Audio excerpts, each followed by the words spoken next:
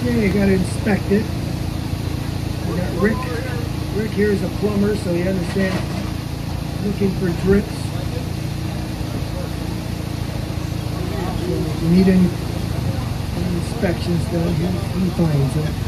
He's also our seed auction person. Rick here puts collects seeds and puts on our seed auction every year. Ian, Ian Anderson. We'll see how it comes out.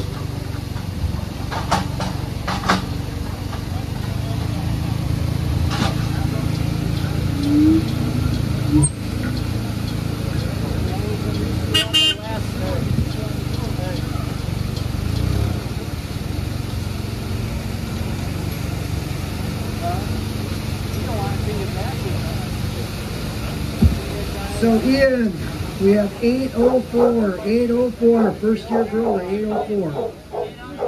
Even